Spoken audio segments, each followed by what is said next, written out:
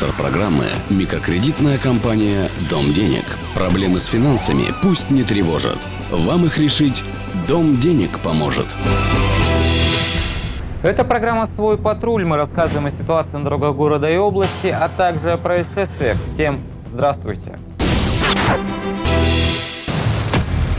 В Благовещенске сотрудника исправительной колонии поймали во время получения взятки. По данным следствия, за вознаграждение подозреваемый обещал подготовить документы, необходимые для условно-досрочного освобождения одного из осужденных.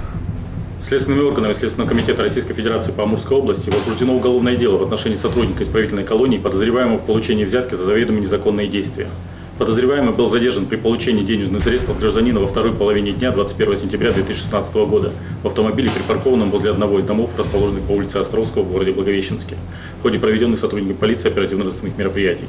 По данным следствия, за полученное вознаграждение подозреваемый обещал подготовить документы, необходимые для положительного решения вопроса об условно-досрочном освобождении одного из отбывающих наказания осужденных.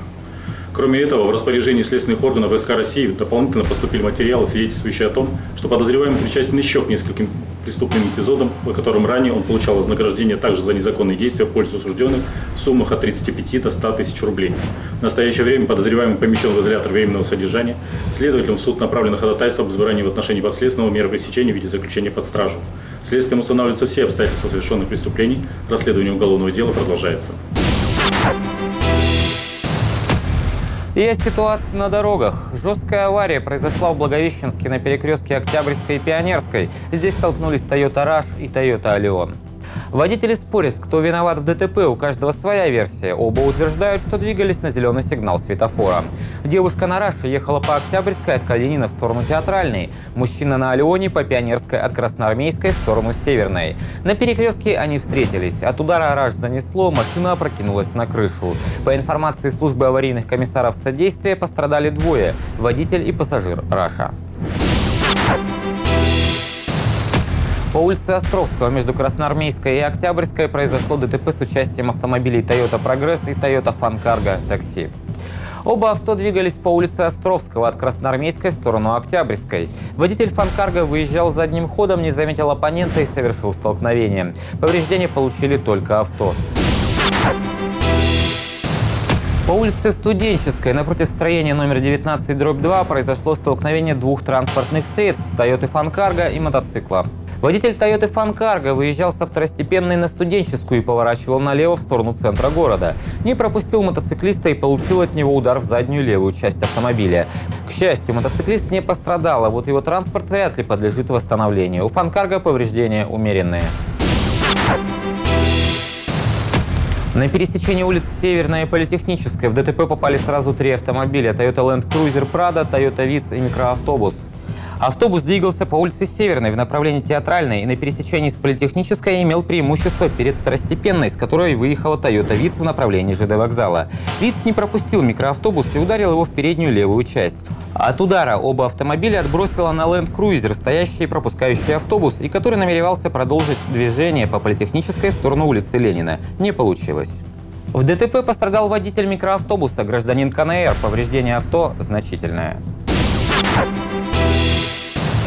Автомобили Nissan Note и микроавтобус Летай стали участниками ДТП на пересечении улиц Ленина и Железнодорожной.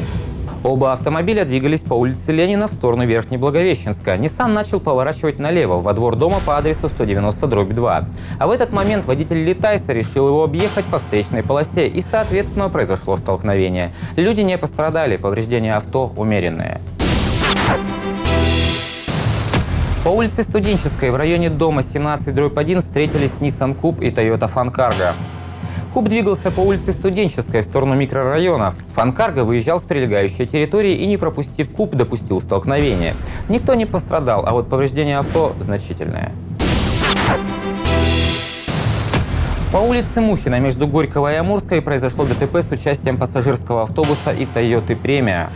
Оба авто двигались по улице Мухина в сторону улицы Ленина. Toyota остановилась, чтобы выполнить поворот налево, пропускала встречный транспорт, а водитель автобуса, утверждая, что был ослеплен солнцем, не увидел впереди себя авто и произошло столкновение. Повреждение авто значительное. И опять улица Мухина, на этот раз между улицами Заводской и Пролетарской. Mazda Demia двигалась по улице Мухина со стороны микрорайона в сторону центра. Toyota Креста в противоположном направлении. Водитель Креста намеревался повернуть налево на парковку магазина, не пропустил Мазду и произошло жесткое столкновение. В ДТП пострадала девушка-водитель Мазды. А я напоминаю, что наши выпуски вы всегда можете посмотреть на портале sn24.ru. На этом у меня сегодня все. Берегите себя.